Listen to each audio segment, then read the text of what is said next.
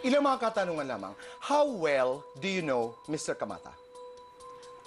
Hindi. Ilang beses na kayo nag-meet? Ang yung sa ospital po, yun po yung pang-apat na meet namin. Yung Ah. tatlo, saan kayo nagkita? Sa Bilibid po mismo. Ano ang ginagawa mo sa Bilibid at kayo'y nagkita ni Mr. Kamata? Doon po ako nag-umpisang mag-propose sa kanya ng ah, condo po.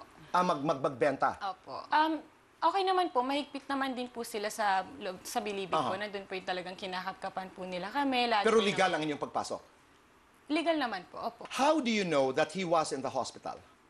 Ah, yung, Or how did you know? opo. Oo. Yun po, ah fina-follow up ko po dun sa talent coordinator po na, yung talent coordinator, coordinator ko po, tinatanong ko po kung kamusta na po si Mr. Kamata. And then, Pero paano mo nalaman na nasa ospital siya? then he said na nasa hospital po. Siya ang kaibigan ni Mr. Kamata, yung Opo. talent coordinator? Yes po. Ah, so ideya mo na pumunta sa ospital para magbenta.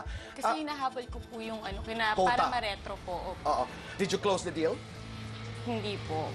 Okay. You stayed in the hospital for over an hour kasama yung dalawang tao, 10 minutes na ikaw lamang. Tell me what you can, what transpired inside the room. Kasi ito yung pinag-uusapan. Opo. Ah, sinasabi po doon sa CCTV na one hour po kaming nandun sa loob ng, Okay. ng kwarto ni Mr. Is that Kamata. true? Yes po. Nakita Oh. naman po sa CCTV. Okay. And then po, yung sinasabi po nila na 10 minutes na naiwan po kami ni Mr. Kama, ni Mr. Kamata, clarify ko lang po na may nurse po na pumapasok para ayusin po yung swero niya. So hindi kayo solo na magkasama ni Mr. Kamata doon sa 10 minutes. Huling katanungan.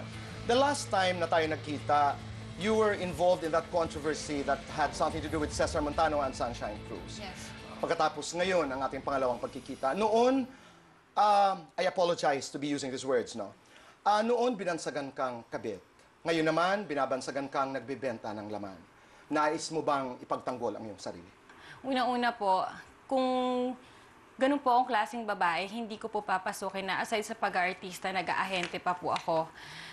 Hindi rin po ako aabot siguro sa red line kung, kung binebenta ko yung sarili ko kasabay ng pagbebenta ng mga kondo. Dahil ang dami ko pong indecent proposal po talaga sa totoo lang na tine-turn down ko po pag once na nag, nag-offer na yung isang kliyente.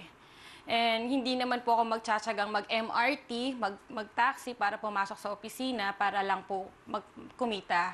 And pangalawa po, kung meron man po akong issue na na gustong i-prove sa mga tao, sa, lalong-lalo po sa mga naninira sa akin, yun po yung pagtawag sa akin ng starlet. Kasi gusto ko pong patunayan sa mga... Nasasaktan ka? Kasi kung aalamin natin totoong meaning ng starlet, ah, yun po yung ah, artistang pasimula pa lang eh, 'di ba po? Pero syempre, yung ibang tao kasi binibigyan na po ng pangit na meaning ang salitang starlet. Pero gusto ko pong patunayan sa mga tao, sa lahat ng nandito sa loob ng studio na to na hindi lamang po ako isang starlet at balang araw makikilala rin po ako bilang isang actress. Okay. Kung hindi starlet ang nais mong itawag sa'yo ngayon, ah, what do you prefer that you're called? Ah, Siyempre po, gusto ko po yung matawag nga po akong actress. Pero Okay. sa pagsubok na pinagdadaanan ko po ngayon, yun po yung isang matatag na babae. Maraming salamat, Krista, Thank you sa iyong po. panahon. Maraming maraming salamat.